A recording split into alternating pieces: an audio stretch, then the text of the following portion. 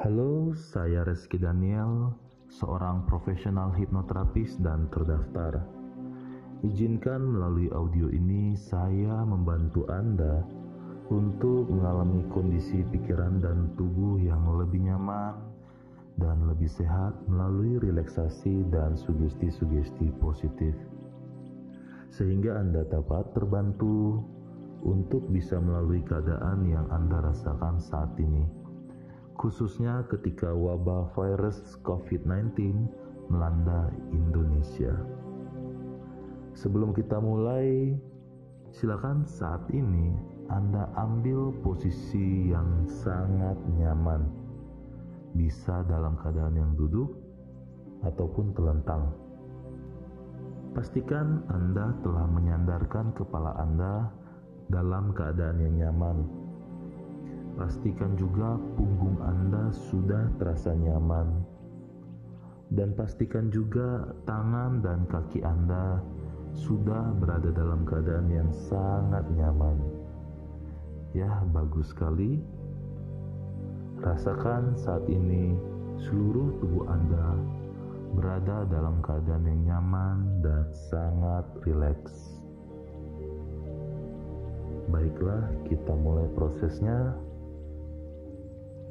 Sementara Anda tetap merasakan kenyamanan ini, Anda boleh memejamkan mata Anda secara perlahan-lahan.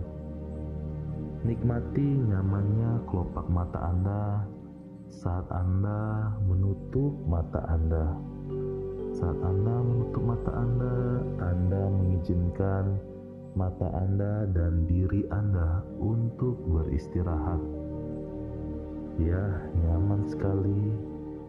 Saya akan menghitung dari 5 hingga 1. Pada hitungan ke-1, izinkan mata dan tubuh Anda beristirahat total. 5. Rasakan semakin rileks, semakin nyaman. 4. Rasakan gelombang relaksasi mengalir ke seluruh tubuh Anda. Tiga, perkuat sensasi relaksasi ini. Dua, rasakan Anda merasakan relaksasi 100 kali lipat lebih dalam dari sebelumnya. Dan satu, istirahatkan diri Anda secara total sekarang. Bagus sekali. Dan jika Anda sudah merasakan tubuh Anda terasa lebih berat, ataupun Anda merasakan kelopak mata Anda menjadi lebih sulit untuk dibuka, Anda tidak perlu khawatir karena hal itu adalah wajar, tetapi rasakan hal itu justru memperkuat rasa nyaman dan rileks di dalam diri Anda. Ya, anda cukup fokus kepada relaksasi dan suara sugesti dari saya. Sekarang, dengan sangat mudah, Anda membayangkan diri Anda sedang berada di sebuah pantai yang indah. Ya, ini adalah pantai favorit Anda. Munculkan dan visualisasikan secara nyata secara jelas. Berikan warna yang jelas, berikan gambar yang jelas. Dan Anda berada di waktu yang tepat, waktu yang paling nyaman untuk merilekskan tubuh dan pikiran Anda. Perkuat visualisasi dan gambaran pantai favorit Anda ini dengan sangat jelas. Berikan warna yang sangat cerah Bagus sekali. Dan sekarang Anda bisa melihat seluruh gambaran dan suasananya secara nyata. Anda bisa melihat pasir, Anda bisa melihat indahnya laut. Anda juga bisa mendengarkan betapa damainya suara air laut yang berirama dengan sangat indah. Anda bisa merasakan tubuh Anda saat ini dalam keadaan yang sangat rileks, dengan posisi yang membuat diri Anda semakin nyaman. Ya, rasakan saat ini sensasinya semakin nyaman, semakin nyata, dan semakin kuat.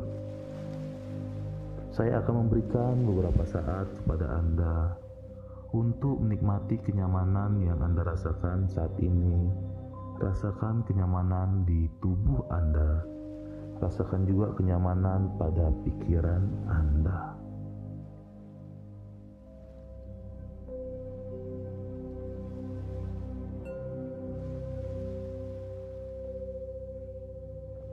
Bagus sekali.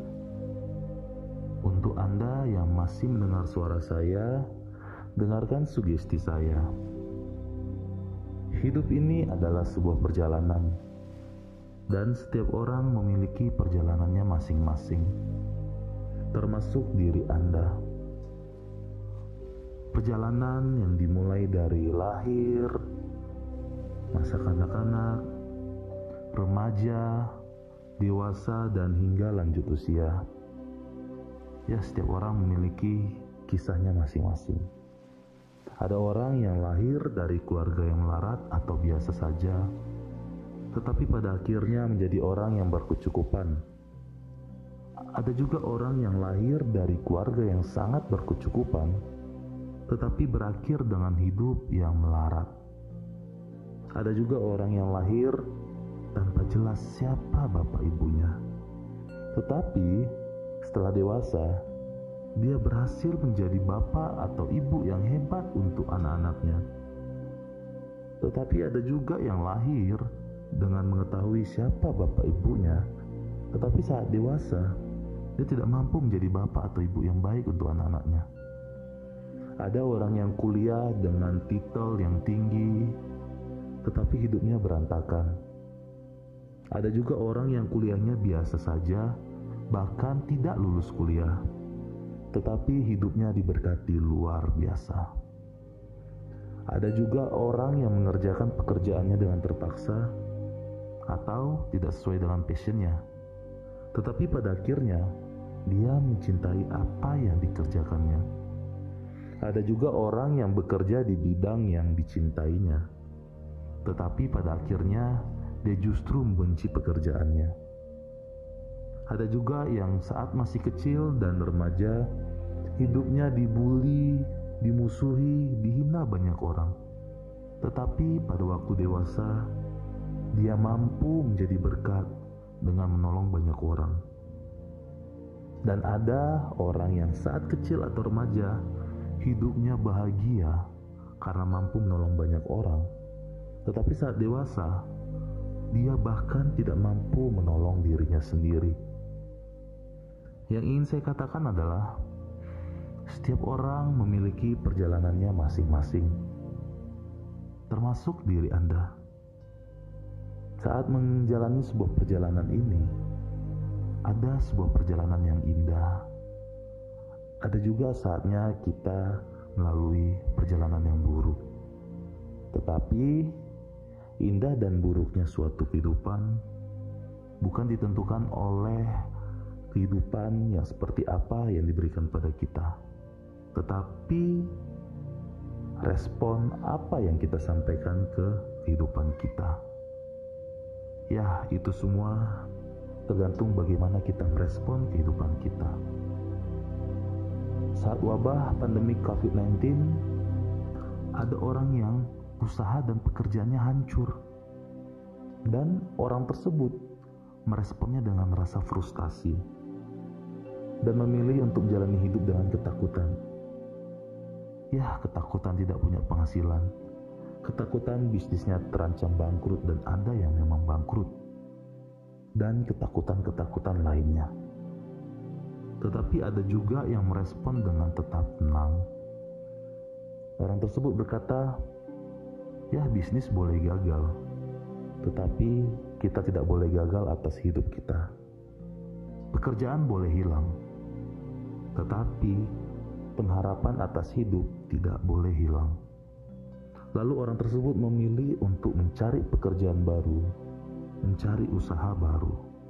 Bahkan dia rela mempelajari hal-hal yang baru, mencari peluang-peluang yang baru.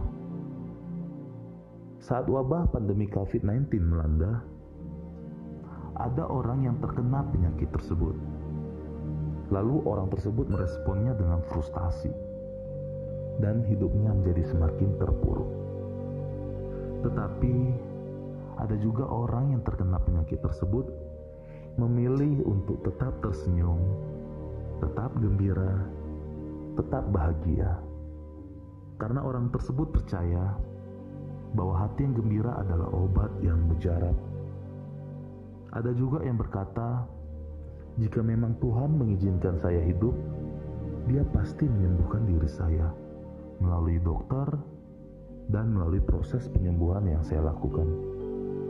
Dan jika Tuhan berkehendak lain, maka saya pun tetap bahagia karena saya akan bertemu dengan Tuhan. Saat wabah pandemi COVID-19 melanda, ada orang yang sedianya memiliki peluang untuk membantu orang lain, baik melalui pekerjaan dan bentuk lainnya.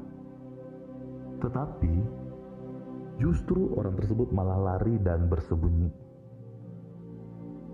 Tetapi ada juga dalam keadaan ini, orang tersebut justru mengambil kesempatan menjadi orang yang bermanfaat untuk sebanyak-banyaknya manusia.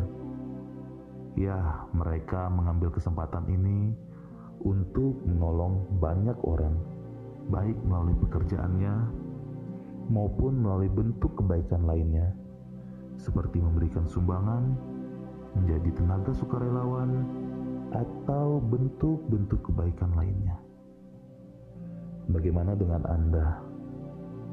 Bagaimana respon Anda terhadap kehidupan Anda saat ini?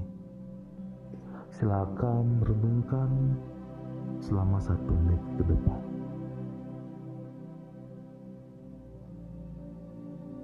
Ya, bagus sekali. Apa pun respon Anda terhadap kehidupan yang Anda jalani saat ini, ada satu hal yang harus tetap Anda lakukan, yaitu bahagia be happy. Jika kekayaan bisa membuat orang bahagia, tentunya Adolf Merkel, orang terkaya dari Jerman, tidak mungkin menabrakkan badannya ke kereta api. Jika ketenaran bisa membuat orang bahagia, tentunya Michael Jackson, penyanyi terkenal di USA, tidak mungkin meminum obat tidur hingga overdosis. Jika kekuasaan bisa membuat orang bahagia, tentunya J. Vargas, Presiden Brazil, tidak mungkin menembak ke jantungnya sendiri. Jika kecantikan bisa membuat orang bahagia, tentunya Marilyn Monroe, artis cantik dari USA, tidak akan meminum alkohol ataupun obat depresi hingga overdosis. Jika kesehatan bisa membuat orang bahagia, Tentunya Thierry Costa, dokter terkenal dari Prancis, tidak akan bunuh diri akibat sebuah acara di televisi. Ternyata, bahagia atau tidaknya hidup seorang bukan ditentukan oleh seberapa kaya, seberapa tenar, seberapa cantik, seberapa kuasanya, ataupun seberapa sehat dan suksesnya kehidupan orang tersebut. Tetapi, yang bisa membuat orang tersebut bahagia adalah dirinya sendiri,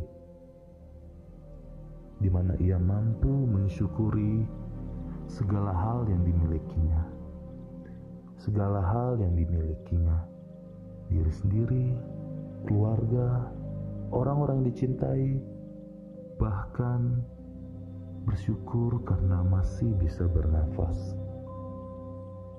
Kalau kebahagiaan itu bisa dibeli, pasti orang-orang kaya akan membeli kebahagiaan itu, dan kita akan sulit mendapatkan kebahagiaan karena sudah diborong oleh mereka. Kalau kebahagiaan itu ada di suatu tempat, pasti di belahan lain di bumi ini akan kosong, karena semua orang akan ke sana berkumpul di mana kebahagiaan itu berada. Yang ingin saya katakan adalah kebahagiaan itu sudah ada dalam diri setiap orang.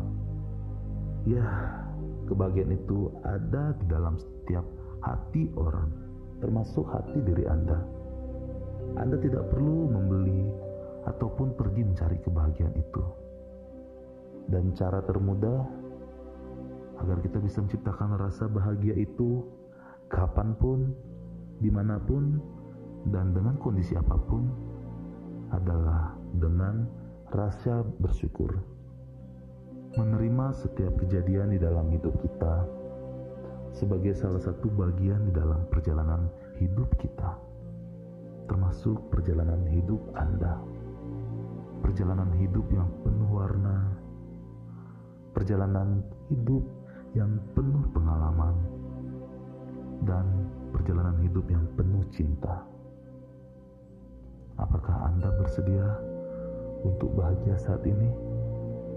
Apakah Anda bersedia untuk mensyukuri apa pun yang Anda miliki saat ini? Silakan renungkan dalam satu menit ke depan. Ya, bagus sekali. Sekarang saya akan menghitung dari angka 1 sampai 10. Pada hitungan ke-10, Anda bisa bangunkan diri Anda dalam keadaan yang paling bahagia, penuh dengan rasa syukur, dan tetapkan hati Anda untuk merespon kehidupan Anda dengan lebih memberikan kebaikan untuk diri Anda dan orang-orang yang Anda cintai. Satu, rasakan seluruh tubuh dan pikiran Anda saat ini penuh dengan kedamaian. Dua, Nikmati bagaimana tubuh dan pikiran Anda menjadi lebih ringan. Tiga, rasakan energi semangat dan penuh kebahagiaan mengalir ke seluruh tubuh Anda. Empat, rasakan betapa nyamannya tubuh dan pikiran Anda. Lima, biarkan nafas Anda memberikan kesegaran berkali-kali lipat saat ini. 6. Rasakan tubuh dan pikiran Anda semakin sehat, semakin bahagia. 7. Rasakan rasa bahagia itu semakin kuat. Ucapkan syukur kepada Yang Maha Kuasa. 8. Rasakan seluruh anggota tubuh Anda sudah mulai bisa digerakkan dengan lebih mudah dan lebih nyaman. Dan nanti pada hitungan ke-10, jangan buru-buru bangunkan diri Anda, tetapi Anda hanya boleh membuka mata Anda dan membangunkan diri Anda jika Anda sudah merasakan kesegaran yang luar biasa. Lakukan secara perlahan-lahan. Hitungan sudah mencapai angka 9, dan 10. Bagus sekali. Sekarang jika Anda sudah merasakan kesegaran yang sangat luar biasa, Anda sudah bisa merasakan perasaan yang jauh lebih sehat. Anda bisa membangunkan diri Anda secara perlahan-lahan. Bagus sekali. Saya doakan hidup Anda selalu lebih sehat, lebih bahagia. Terima kasih bersama saya, Reski Daniel.